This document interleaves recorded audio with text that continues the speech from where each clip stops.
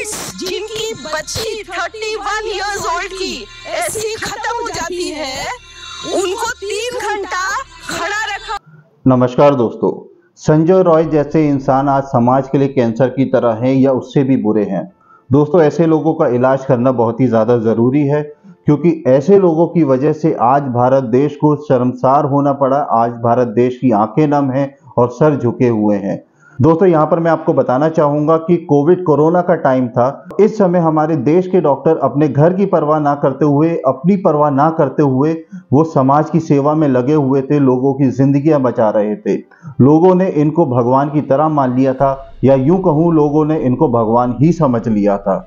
मगर आज आरजी कर हॉस्पिटल के अंदर एक ऐसी भयानक वारदात हुई है, जिसकी वजह से आज पूरा भारत देश शर्मसार है, और वजह है संजय रॉय जैसे इंसान।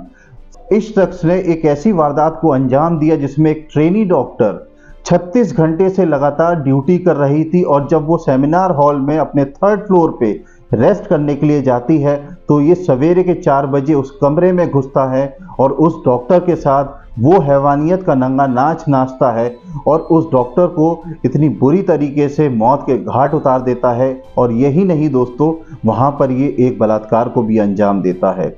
दोस्तों, हद तो तब खत्म हो गई जब पोस्टमार्टम की रिपोर्ट सामने आई। उसने पूरे देश को झिंझोड़ के रख दिया। जिस रिपोर्ट में ये सब मेंशन था कि कितनी भयानक तरीके से क्रूरता हुई है, बर्बरता हुई है उस महिला डॉक्टर के साथ। दोस्तों, वो डॉक्टर डायरी भी लिखती थी। उसने अपनी डायरी में जो आखिर के पेज हैं, अपने फैमिली को एड्रेस किया था कि मैं एक गोल्ड मेडलिस्ट बनना चाहती हूँ। इस संजय रॉय जैसे इंसान ने, जो समाज में कैंसर की तरह हैं, ऐसे बिलियन डॉक्टर के सपनों को एक पल में ख़त्म करके रख दिया। दोस्तों, ऐसे लोग समाज के लिए बहुत ही खतरा साबित होते हैं और ऐसे लोगों को एक ही सेकंड के अंदर समाज से हटा देना चाहिए। दोस्तों, हद तो तब खत्म होती है कि संजय रॉय जैसे इंसान पुलिस के अंदर सिविक वॉलेंटियर की तरह काम करते हैं। आर जी कर मेडिकल हॉस्पिटल में ऐसे लोग दलाली का काम करते हैं और पैसा लेकर के मरीजों का काम कराते हैं, उनको बेड दिलाते हैं, उनको दवाइयाँ दिलाते हैं, उनका इलाज कराते हैं। दोस्तों, ये जो संजय रॉय इंसान था, ये ऑलरेडी क्रिमिनल मानसिकता का था और इसने चार चार शादियाँ कर रखी थी। तीन बीवियाँ इसके इसके नेचर की वजह से, इसकी बर्बरता की वजह से इसको छोड़ करके चली गई। चौथी बीवी की कैंसर की वजह से डेथ हो गई और ये आदमी समाज में एक कैंसर की ही तरह घूम रहा था। दोस्तों, ये जो शख्स है, संजय रॉय नाम का, ये लगातार आरजेकर हॉस्पिटल में जाता था, वहाँ पर लोगों को परेशान करता था और लोगों को रुतबा दिखाता था कि वो पुलिस इंस्पेक्टर है, वो पुलिस में काम करता है और डरा धमका करके अपने मन माने कामों को वो अंजाम देता था। वहाँ से कई बार कंप्लेन करी गई है इस शख्स के ऊपर, मगर प्रशासन ने कोई एक्शन नहीं लिया। दोस्तों, ये चीज़ बिल्कुल नहीं समझ में आती कि ये इस प्रवृत्ति का इंसान हॉस्पिटल के अंदर ऐसे घूमता है और हॉस्पिटल एडमिनिस्ट्रेशन ऐसे लोगों के ऊपर कोई एक्शन नहीं लेता। दोस्तों, जब उस महिला डॉक्टर की मृत्यु हो गई तो हॉस्पिटल एडमिनिस्ट्रेशन ने उसके घर पे फ़ोन करके ये कहा कि उसने सुसाइड कर लिया है। दोस्तों, हम इस वीडियो में इस पहलू पे भी बात करेंगे कि इसके पीछे जिम्मेदार कौन है।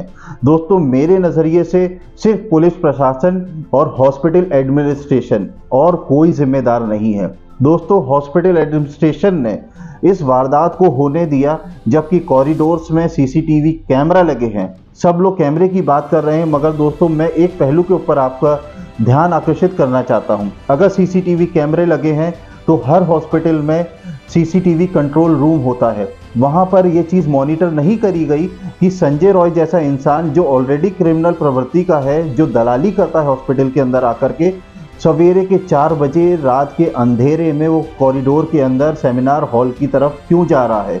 और जब ये चीज़ें अवॉइड करी जाती हैं तो इस तरीके के लोगों को हिम्मत बनती है कि वो ऐसी वारदात को अंजाम दे सकें।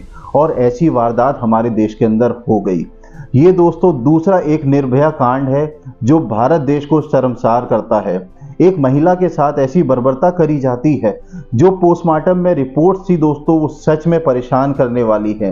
तो पोस्टमार्टम की रिपोर्ट में ये बताया गया है कि उसको फिजिकली इतना टॉर्चर करा गया है उस लेडी डॉक्टर को, उसकी आँखें फोड़ दी गई, जो उसने चश्मा पहना था, उसके शीशे उसकी आँखों में धसे थे उसकी कॉलर बोन तोड़ दी गई, उसकी छाती पे घाव के निशान थे, शरीर का कोई भी अंग ऐसा नहीं बचा था जहाँ पर नोचा ना गया हो, जहाँ पर मारा काटा ना गया हो। उसकी दोनों टांगों को 90 डिग्री एंगल में चीर दिया गया था पेल्विस को तोड़ दिया गया था।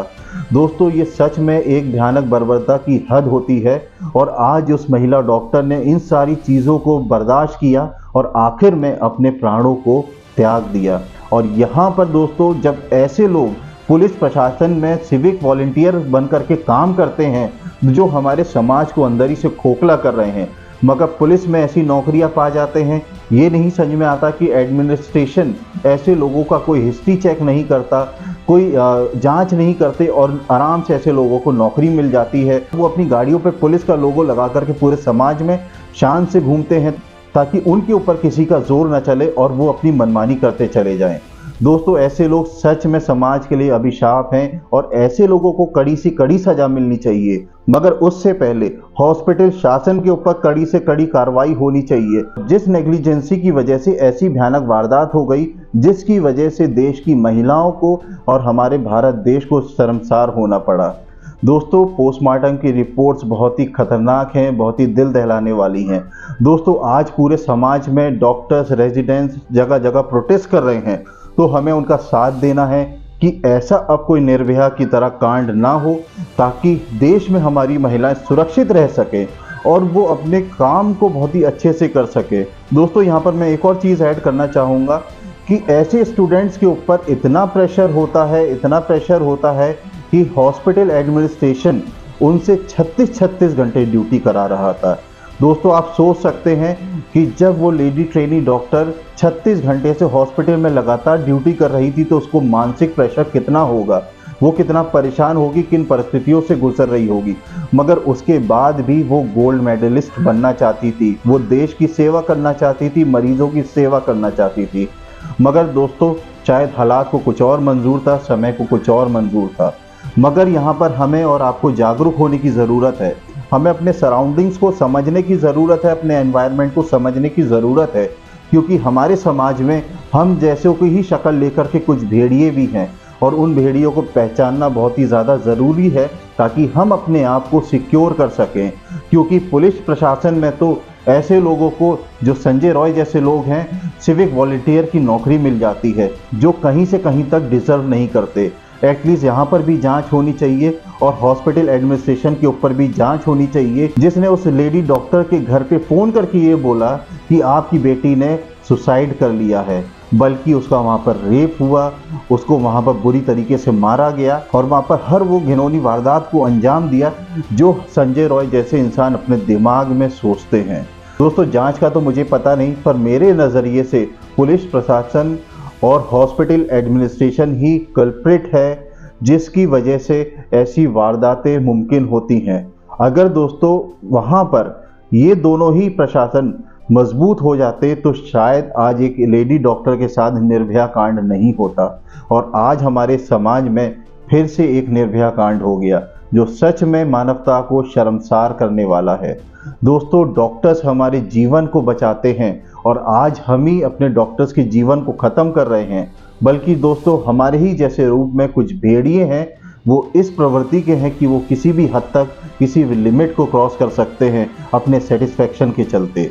दोस्तों, हमें और आपको बहुत ही सतर्क रहने की ज़रूरत है, बहुत ही सुरक्षित रहने की ज़रूरत है। अवेयर रहें, अपने सराउंडिंग्स को पहचाने अपने समाज को पहचाने कि कौन किस प्रवृत्ति का है और उसी के मुताबिक अपने घर की महिलाओं को अवेयर करें ताकि वो हर चीज़ से अवेयर हो सकें और अपने जीवन को सुरक्षित रख सकें। और दोस्तों, इस वीडियो के माध्यम से मैं आपको एक और चीज़ कहना चाहूँगा कि अगर हमारे कंट्री के अंदर एजुकेशन सिस्टम अच्छा होगा तो हम सही और गलत में फैसला करना सीख सकेंगे।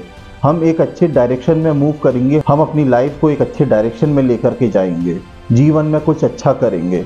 दोस्तों, अगर यहाँ पर इस चीज़ को ठीक कर दिया जाए तो शायद हमारे देश में हालात कुछ और होंगे। दोस्तों, एक और चीज़ मैं बताना चाहूँगा कि बेरोज़गारी की वजह से लोगों के अंदर, उनके मनों में तरह तरह के फितूर घूमते हैं तरह तरह के आइडियाज़ होते हैं। तो जिसकी वजह से कभी कभी हमारा समाज खतरे में पड़ जाता है, हमारी सोच खतरे में पड़ जाती है। अगर दोस्तों, इन दो बेसिक रूट पर सरकार काम करती है तो शायद हम इन सब चीज़ों को कंट्रोल कर सकते हैं, इन सब चीज़ों को सीमित कर सकते हैं। तो दोस्तों रिज़ल्ट चाहे कुछ भी हो, पर हम एक अच्छे जस्टिस की कामना करते हैं, एक अच्छे जस्टिस की उम्मीद करते हैं कि उस लेडी डॉक्टर जो ट्रेनी थी, उसके फैमिली को एक अच्छा जस्टिस एक अच्छा वर्डिक्ट मिल सके। तब तक लिए दोस्तों, इजाज़त दीजिए, सुरक्षित रहें, अपने समाज को भी सुरक्षित रखें। नमस्ते, जय हिंद।